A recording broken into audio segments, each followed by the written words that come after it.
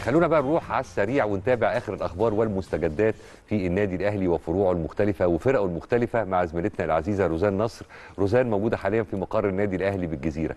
يا روزان صباح الفل عليك. اتفضلي إحنا سامعينك. صباح الخير يا كريم صباح الخير يا نهاوند صباح الخير على كل مشاهدينا مشاهدين قناة النادي الأهلي في كل مكان. مبسوطة طبعا بالتواجد معاكم النهارده في أولى حلقات يعني 10 الصبح في الأهلي بعد إجازة رمضان والعيد.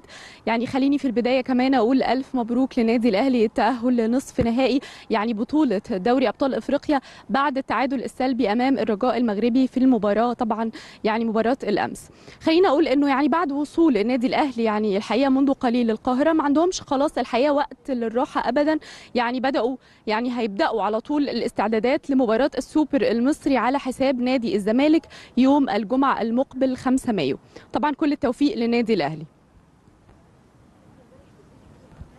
كمان عايزين نهني ونبارك لسيدات يد الأهلي وده طبعا بعد فوزهم على سبورتنج والتتويج بلقب دوري سيدات اليد. المواجهة كانت على صالة هيئة قناة السويس بمحافظة الإسماعيلية ضمن منافسات نهائيات بطولة الدوري. واستطاع فريق سيدات يد الأهلي الفوز على سبورتنج بنتيجة 28 ل 24 وكمان يعني عايزين نقول إن فريق سيدات يد الأهلي الحقيقة ماشي بخطى يعني آه يعني جيد جدا وثابت جدا. كمان توجوا ببطولة كأس مصر على حساب الزمالك يوم 21 إبريل الماضي.